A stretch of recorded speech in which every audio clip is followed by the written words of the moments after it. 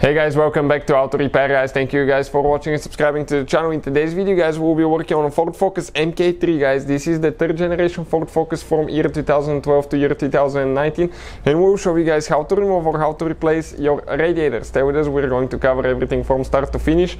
Uh, quick introduction guys, we'll have more than 200 videos on Ford Focus and more than 200 videos on every car we get at the shop. Why we do all that? Because our mission at the shop is to save you guys as much money as we can. So please guys subscribe to the channel and like the video hopefully you will find the information helpful. Now, every time you guys remove the radiator, you have to drain the coolant. So stay with us, we'll show you guys uh, how to drain the coolant, what's the correct way to do it. You have to do it only when the car is extremely cold, so let it sit overnight, otherwise you can severely hurt yourself guys. Another thing guys, uh, if you need to buy new radiator or parts, check out the link in the description of the video below. You can see where you can purchase them for super good price and fast shipping as well. So there are actually two ways to remove those guys. One is uh, together with the condenser and the active grill shutter or separate guys just the radiator but we're going to go ahead and remove everything together so we can explain how to disassemble them because otherwise in the vehicle it's impossible to do that. So stay with us let's go ahead and start on it now. So we need a Torx thirty guys. Okay Torx thirty start looking bit. Okay and we're going to go ahead and start uh, removing screws underneath okay you can see one two. Then we have uh, one more in the other corner there.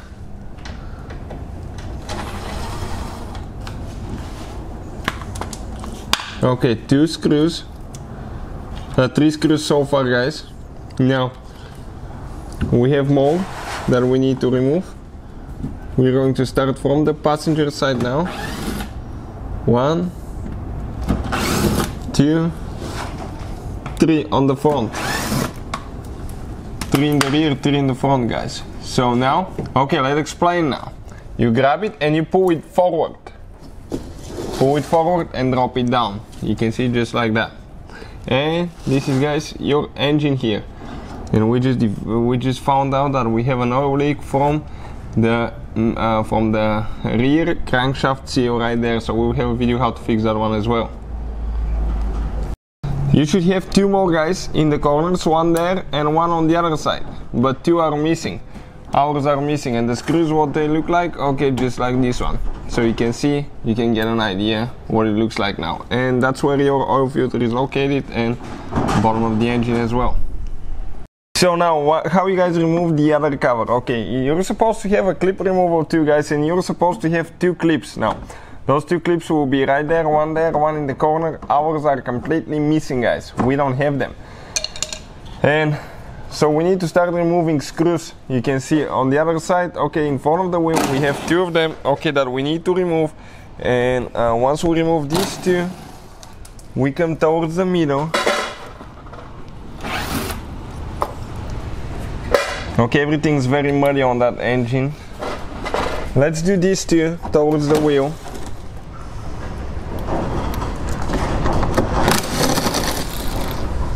Perfect, now.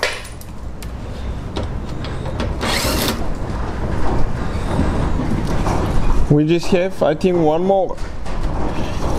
You might have dust and sand stuck there, so be careful guys. Always wear eye protection as well grab it now guys. Okay and you pull that cover down. Okay just like that. And now that's where your radiators are the active grill as well radiator fan all that is here and that's the lower radiator support and uh, the drain plug for the radiators as well.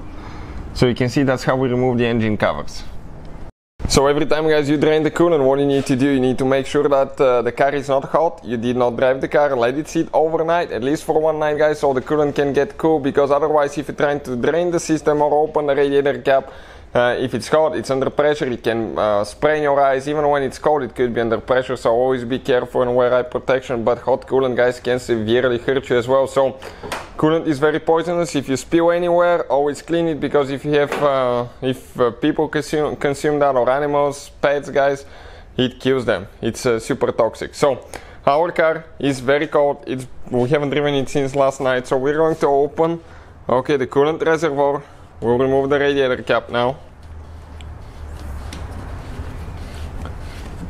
Perfect. Okay, it's out.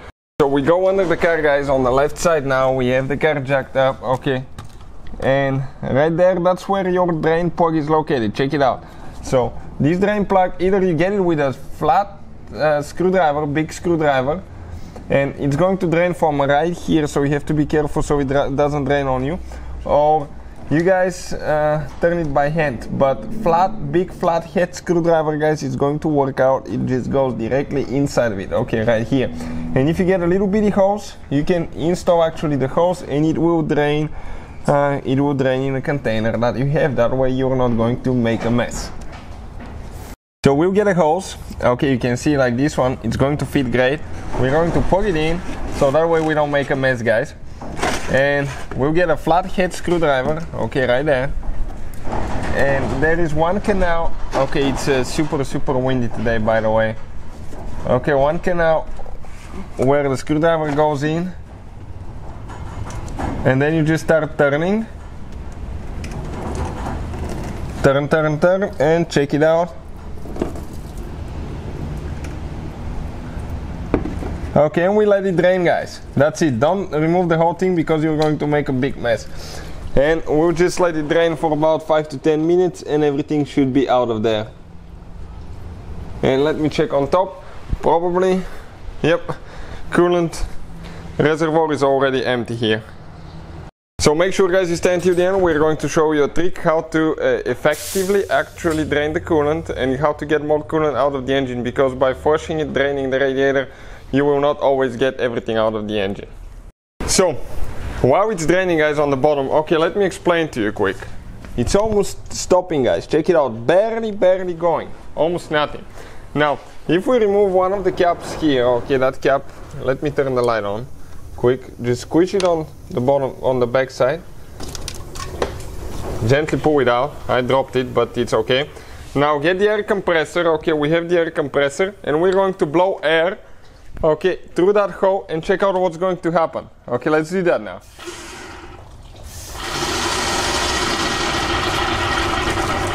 Okay, check out how much more guys we're getting out of the engine. Okay, let me move the bucket just a little bit. Okay, perfect.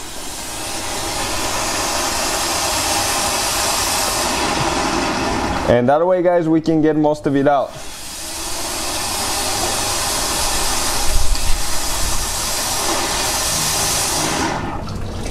Okay, check out, we just got even more.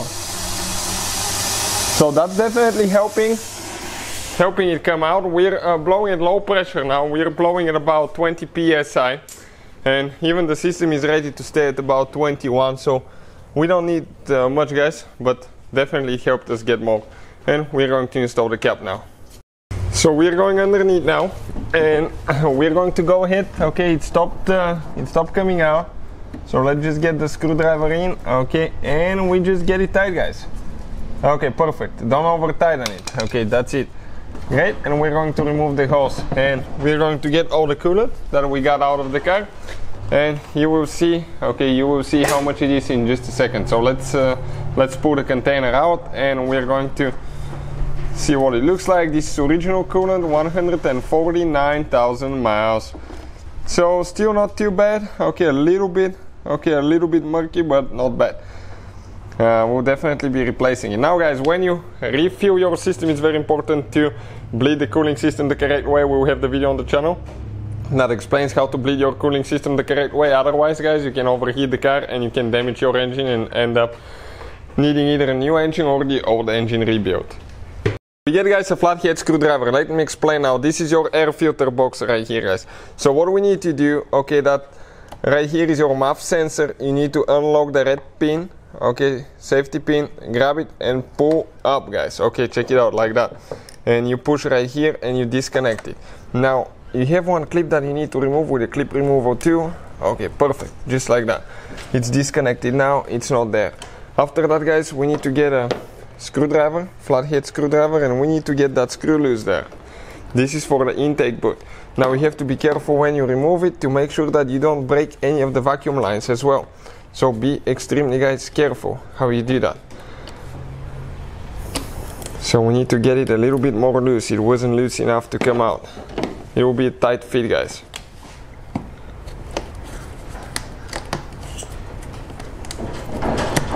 okay perfect it came loose so what we need to do after that right here we're going to pull. Okay like that. And now guys what we need to do? We need to grab that box. Okay that box should not have any screws guys. Okay this box it should be to where you just uh, you just grab it and pull it out. Okay you will have a clip on the back side one right there. Okay one clip there. You have a couple more here. So once we pull it out I'll be able to explain okay where that clip is located all the clips actually.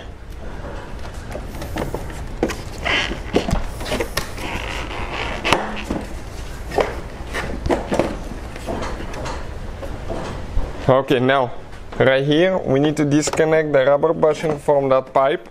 Okay perfect. Now we lift it up. Where are all the clips? Okay let's explain now. You have one right there. Okay this is towards the back side facing the box this way. Okay one here and one over there and one towards the front where they attach to one here. You have that's uh, the where it gets air from. One here that's where the water actually drains. One here one there and one over there guys. You can see this is if the engine gets water. I think it's called like resonator or something like that. It's supposed to drain there so it doesn't get in the engine. But if you drive through high water you're going to end up guys sucking water in the engine. And probably ruining your engine anyway. So we got the air filter box out of the way. So with 10 millimeter socket guys we're going to remove now okay one bolt for that uh, uh, lower part of the air filter box right there. So let's go ahead and remove that now. Okay perfect. And it's out of the way. We gain more room to the radiator fan radiators here and everything in the way so in the meantime guys we'll be making a few videos how to remove replace radiators. You can just uh, remove and re uh, remove the whole radiator assembly with the fan and everything out of the way but in our case we will do them one at a time. So depending guys okay what you're needing now. Also make sure guys you disconnect your car battery because the radiator fan is right there and if your fingers get stuck in it and for some reason it decides to turn on because you break a wire or something it could happen guys your fingers will be there and uh, as a result guys it can cut your fingers off or your hand so be extremely careful. We already disconnected ours. Now what we need to do right here guys uh, we need to go ahead and remove okay that uh, wire. Okay let me get a little bit of light. Perfect. Okay I press in here and pull out. Okay let me show you where now. Okay right there. Press in pull out now guys we have that clip holding the cable to the radiator fan with a clip removal tool. We're trying to pop it loose. Okay perfect. What do we have now guys? Okay we have two guides holding the fan towards the radiator. Okay one here and one exactly like that on the other side. However now, we need to go on the bottom guys, underneath, and we'll show you guys, okay, what we need to do there. Okay, right there, you can see the radiator fan on the side. Okay, here there is one tooth, once we remove it, we'll show even better. That tooth you need to press it in with a screwdriver, okay, right there. And while you're pressing it in, I'm going to pull it on top, okay, to come out. Okay, it came out guys. Now we need to do exactly the same thing on the other side. So let me go to the passenger side now. We're going to do the same thing there. So grab the fan. One person releases the tooth. Okay, it came up. Now, let me show you guys what else we need to do. We need to come, okay, on this side. And we need to lift the fan until it comes out of the guide. Okay, on this side is out all the way. The other side as well. And now we start dropping it, guys okay now there is insulation here let me let me get it loose okay this insulation is between the fan. Okay in between the fan and the radiator as well.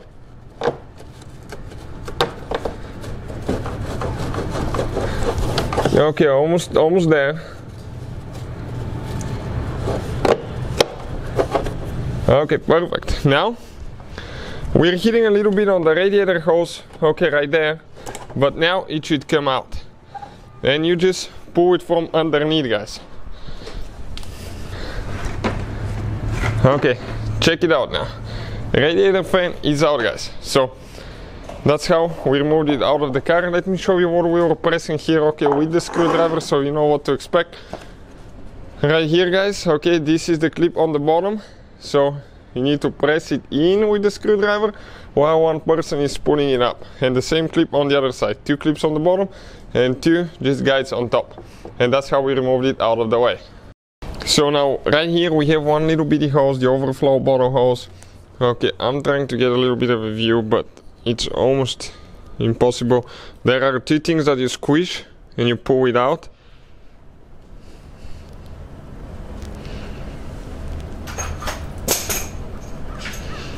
Okay and that thing is stuck guys big time. You don't want to break it because that's one expensive hose so eventually that thing will come out. It has one clip there. So okay let me show you what the hose looks like. Okay like this one guys. Like that okay and you squeeze these two parts and you. Okay pull it apart. There is one o-ring that gets stuck really big time. That's why it came out a little bit hard. Now we need to go underneath guys. We need to get a 10 millimeter socket and we're going to remove the lower radiator support. Okay make sure that uh, coolant guys. Okay the coolant is drained and all that. Okay so now guys what do we have here? Okay we have a few clips that we need to disconnect. Okay this is for the uh, I think one is for the active grill shutter. We'll see. So just pull them out of the radiator support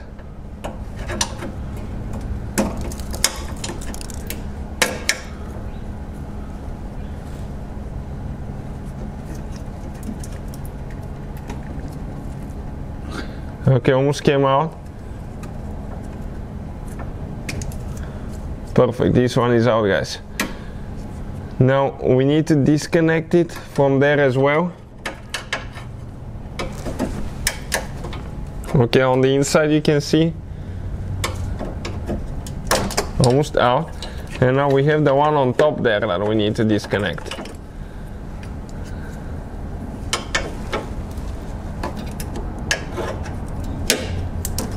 Perfect.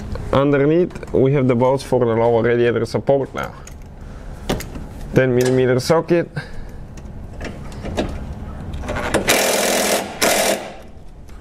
And we're going to remove a few bolts, but we need to get uh, a ratchet or extension, guys.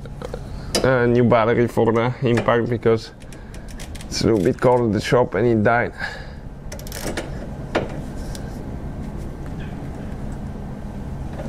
Okay, those things are extremely tight by the way.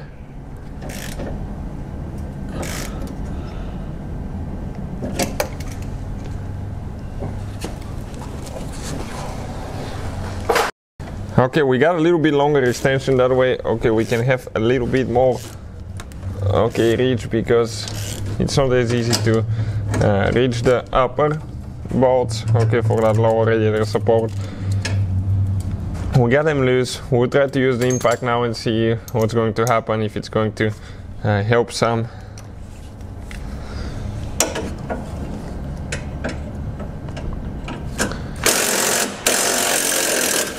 You can see where all the bolts are. They have a little bit of rust. That's what the bolt looks like. Second one. Okay, now guys, uh, same thing Okay, like what we did here, we need to do to the other side. So I'm going to switch places now. Okay, give me a second, and I'll go to to the passenger side of the vehicle. Passenger side, let's remove a few things here so you can see. Okay, right there. So one of them is missing here. Oh no, no, it's on the back. Or it's missing. I no, no, it's good, it's good. It's towards the back. I cannot just see it from that angle here. So two bolts on each side.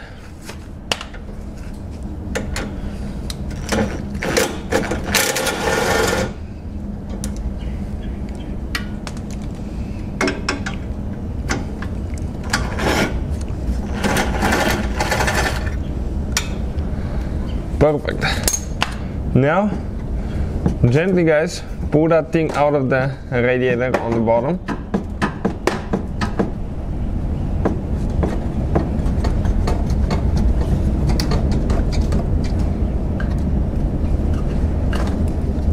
Okay, one is out. Now on the other side, same thing.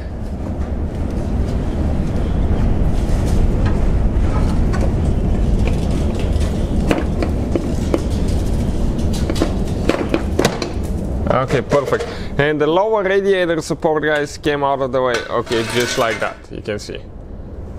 So, now guys, we're ready to remove the radiator. Uh, we will remove it without the AC condenser. This is the radiator on the front, okay, that uh, actually holds the Freon. So you can remove both of them together, but in that case, if you remove both of them together, you have to guys drain your AC system.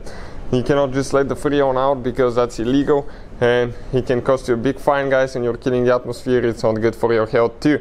So you either have to remove the Freon by vacuuming the system and most shops can do that for a very, uh, very, very minimum price or you can guys disconnect the AC condenser and the radiator and remove the radiator only. So that's what we'll be attempting now.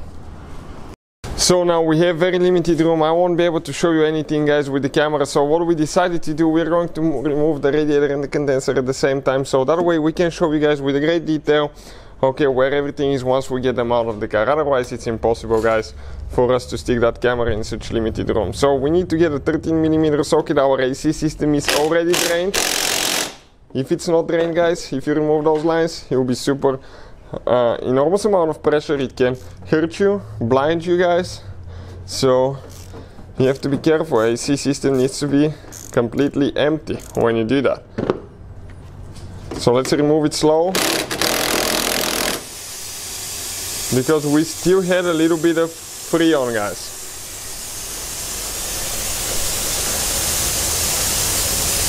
So Okay, let's go ahead and remove it. You have to be extremely careful when you remove it to make sure that you still don't have any pressure left, guys. So let's go ahead, take that. Okay, a little bit came out, just a little bit of pressure. Let's remove it. Yeah, very little, guys, very little. We just sprayed, but that's it. Even though we vacuumed the system down, we still have just a little bit of pressure. So uh, you have two, okay, two lines that you need to remove. One is the low pressure, I think. One is the high pressure line. So okay check it out. That's how it came out. And now we have the other one that you need to remove. It's towards the front guys. So we need to tilt that thing the other way a little bit somehow. Okay I'll hold it like that. Okay and 10 millimeter socket there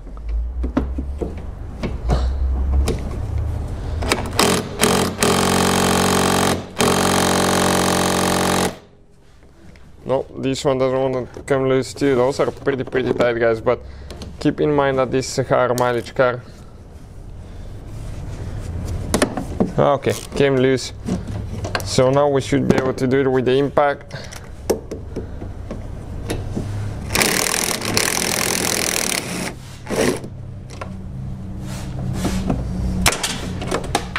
Okay, this one came loose as well. Both of them came loose. The bolt fell underneath. Okay, let me grab it quick.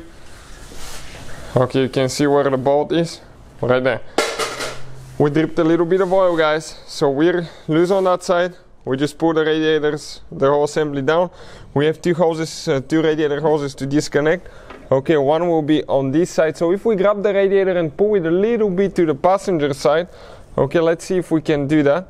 We, we might be able to reach that hose, guys. Okay. With the pliers. Okay, let's see with the other ones if we if we can remove that hose clamp because this one is on a very weird angle. I don't know if it's been removed before or not, or it's just that way. So okay, let me let me try that now. Nope, we have to do it with the other pliers probably. So we have the coolant removed now too guys. Okay, you can see almost almost came out. Okay, I'm going to grab the, the hose to hold it steady for the person that is removing the clamp.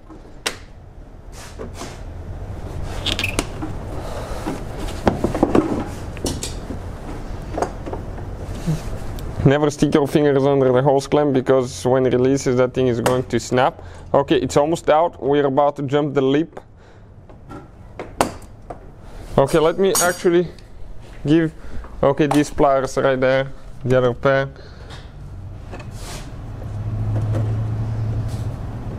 We'll try with the vice grips. This is one tough clamp guys. Really really tough hose clamp so let's try with the other pliers right there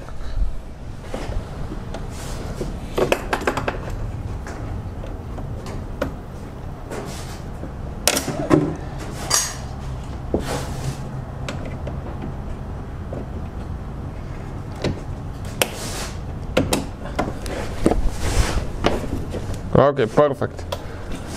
It came loose, guys. Now, we'll go ahead and remove the other one on the other side. Okay, before we remove that one, because we'll still leak some coolant. So I will not disconnect it until we remove the other hose, guys. Let me show you where the other hose is located now. Okay, it's located. Okay, let's get in here. It's located right there. okay where where it uh, goes in an angle you can kind of see it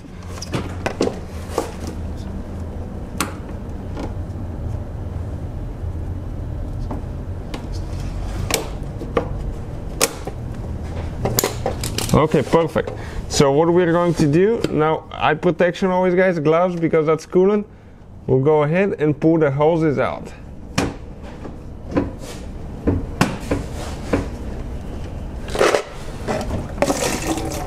Okay, you can see we did leak some out.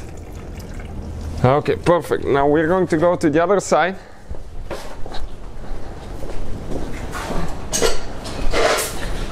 We're going, I'm going to grab this one, okay?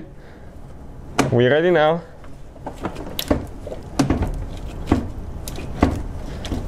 Okay, it's coming out, almost there. Okay, we will leak coolant out, so be careful now. Okay, not much, perfect. Now, okay, let me come right here guys. Okay, the radiator assembly will come out. Okay, you can see just like that.